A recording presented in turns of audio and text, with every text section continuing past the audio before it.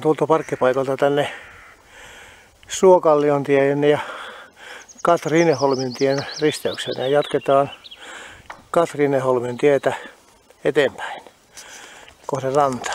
Ja täältä alkaakin jo meri pilkottaa puitten lomasta.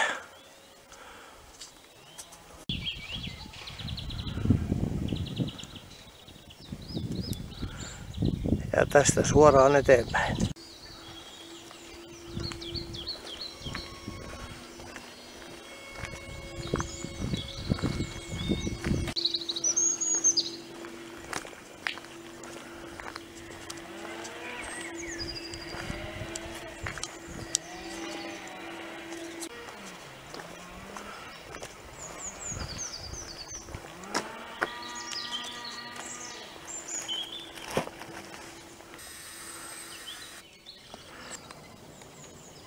Tässä on Kallioniemen viitta tuonne rantaan.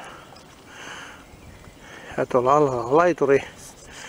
Ja siellä on se kuuluisa, kuuluisa viitta, joka pitää nostaa pystyyn silloin, kun haluaa päästä salmesta yli tuonne vastarannalla näkyvään Kallioniemeen. Laiturille sitten nostetaan Kallioniemen viitta pystyyn ja se on merkkinä vastarannalle, että täällä odotetaan kuljetusta.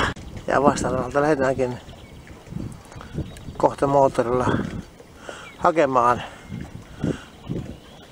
Kallioniemeen tulijaa. Ja sieltähän se rami jo tuleekin noutamaan sitten.